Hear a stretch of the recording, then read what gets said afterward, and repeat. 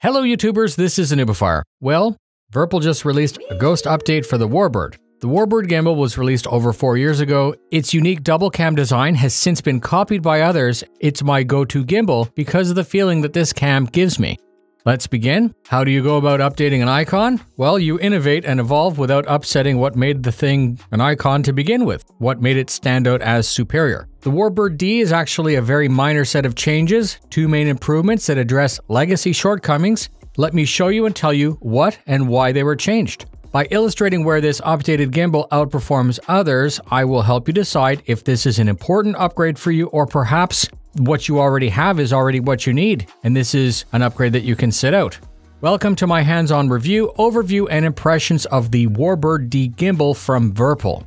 I'm going to begin like usual with a very quick rundown of how we got here. The MT50 gimbal was where it all began for Virpil in 2017. WarBRD gimbal was next. Virpil's second gimbal, which was released at the same time as the Delta grips in 2018. WarBRD is preferred by many because of the design includes that double symmetrical cam. Double symmetry is the only true way to ensure perfectly mirrored proportional force. The double symmetry does have a big drawback in that it's very torque limited. It performs very good at light and medium resistance. It struggles to operate when tuned for very large torque loads, and it becomes quickly overwhelmed when using extensions. As I said in the gimbal comparison video, if you plan to use extensions or prefer that very strong feel, the WarBRD gimbal, despite having super heavy springs, may not be for you. It shouldn't be something you're looking at. Many installed the biggest springs to get the performance they wanted. The community needed a gimbal that was more capable, and this is why we have the CM2 and CM3. Those use a different cam arrangement, which is much more capable at providing high torque, and it also incorporates a finely adjustable preload and a removable wire. The WarBRD D update all comes back to community feedback being heard. Innovations in the upgrades from the CM2 and CM3 are being applied to the WarBRD to create the WarBRD D. This isn't a one or the other situation where one is better than the other. We actually need both. There's a situation and a use for both.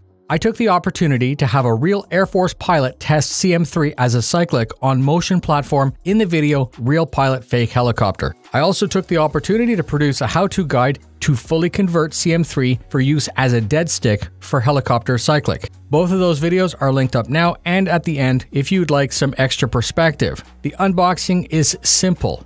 Shipped as a boxed box, the product is packed in high density foam this ensures that nothing shipped could ever arrive with dings or damage. The gimbal includes some extras. Like the CM3 gimbal, there's an updated design on the USB, but with that familiar quick disconnect. It's very important to know that this is not the same plug as some other Virpil devices. This new plug has four leads and not five. I've said in the past that it might be nice for Virpil if they decide to offer those wires in various lengths on the web store. Some of us might like to buy a spare, or some of us might like to permanently cable manage in several configurations. When I redid the wiring on my own setup, I can now quickly switch between gimbals, but more importantly, because I have both 4 and 5 pin plugs in each location, I can change quickly between a throttle, a collective, or a gimbal on my left. I can change between a panel or a gimbal on my right, the plug now lets me use either CM3 or WarBRD in the middle. The addition of the plug now to the entire ecosystem is a massive improvement and achieves the following results. Being able to add or remove parts without disturbing your wiring, being able to replace any damaged wire without needing to perform any type of surgery, and honestly in 2023 there's no excuse to buy any product that has a hard wire attached. WarBRD D now also includes that familiar auxiliary port, so you're able to daisy chain a gimbal to a panel. Your wiring is now simplified. You can connect more devices while reducing the number of plugs at your PC. Those configurations are achieved within the Virpil software when performing your initial setup. I'm going to say that if you're looking at the market in this range, it's expected and normal for the user to service and tune. You should expect to spend time taking it apart and testing springs and cams. This does ship assembled with standard springs and Avia soft center cams. It will work completely fine out of the box plug and play, but you're going to get a more personal experience if you're willing to put in that extra time. It is designed to be opened and adjusted, so there's absolutely no reason to be concerned. The original video for WarBRD on how to change cams is exactly the same, and I might prepare an updated video explaining the process to help you out. If you decide to use the Virpil mounting solution, you should also know that there is one specific plate for each type of those gimbals. You need to double check at checkout. The very, very low profile of WarBRD has always made it very well suited for tabletop use. The WarBRD D has a multi-part table mount, which is fantastic and it's super easy to store if not needed, but it expands to have a very wide footprint, and that's included. There are a total of three springs rated standard, heavy, extra heavy, Unlike CM2 and CM3, the gimbal has no additional spring preload per axis, and because of this, your tuning is limited to these three spring tensions. It's also important to note a second difference in the total deflection angle. WarBRD has always had a larger deflection of 22 degrees when compared to CM2 and CM3, who, because are designed for extensions, are actually limited to 16 degrees. This changes nothing in performance, and I highlight it only to offer the most complete information to you. WarBRD has included with it a set of four cam profiles, which can be identified as a series of bumps, but also just by looking at the curve, you can get a sense of how they're going to behave. Remember that you should never mix your pairs of cams. Two of the same type per axis, please, but you can test using one type in X and the other type in Y. Just ensure that the pairs are the same. This is a great opportunity to mention that you can now take advantage of what's called an Omni throttle using a Z extension remove the left Y axis spring, increase the drag, and install a Z adapter for that hybrid HOTAS Space Sim experience. By default, you have a standard spring and Avia soft center installed. Avia style cams have a progressive curve requiring more force as you get further into deflection. This is that familiar torque profile that flight sim pilots expect. Cosmo or space cams have a flatter profile that are designed to have a constant force throughout the range.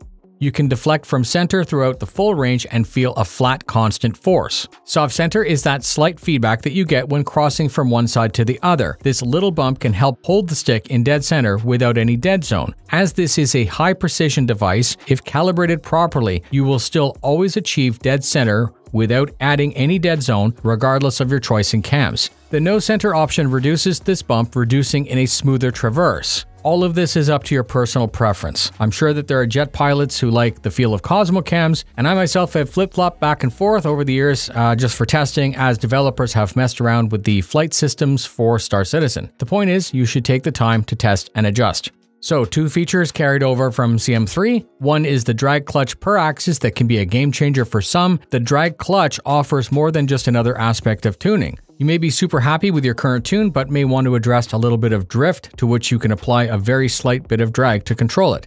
You can stop a little bit of stick oscillation when flying. You can fine tune better with this option. If your goal is to achieve a dead stick, you now have two options from Virpil. Just like how I demonstrated in my review for the CM3 gimbal, a dead stick has no spring and no cam. A dead stick will go to and remain exactly where you move it. It'll stay there until you move it somewhere else.